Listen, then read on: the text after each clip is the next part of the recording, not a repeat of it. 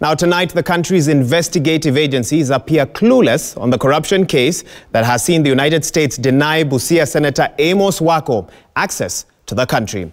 While Wako has been banned entry into the United States over what it describes as significant corruption, the anti-graft agency EACC appears to be in the dark and is non-committal on whether it has any active probe or has investigated the senator over graft.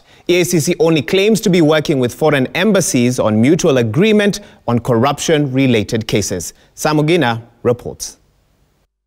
The ban on Busia Senator Amos Wako and his family from entering the United States over corruption seems to have blindsided the country's investigative agencies. EACC, the Director of Criminal Investigations, and the Director of Public Prosecutions all seem to be in the dark.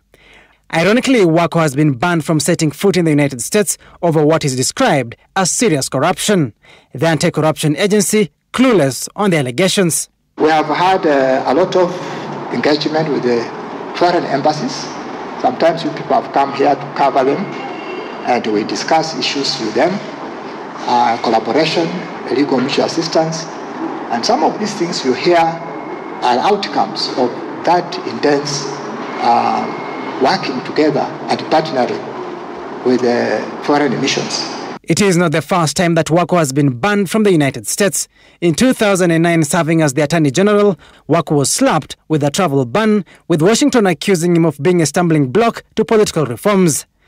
While the latest advisory from the State Department does not explain the charges against Wako, it is suspected the ban stems from Wako's role as AG at a time the country was riddled with mega scandals like the Anglo leasing scandal and the Goldenberg scandal perhaps we'll have to hear more as we move forward. So, uh, for me, I would feel this is part of the result of our engagements with uh, people, uh, with foreign missions, uh, together with all my agency teams in this country.